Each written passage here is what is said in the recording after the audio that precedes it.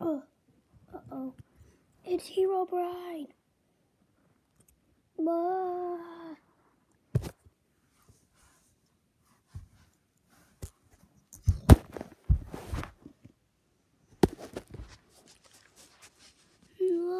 Oh, Oh no!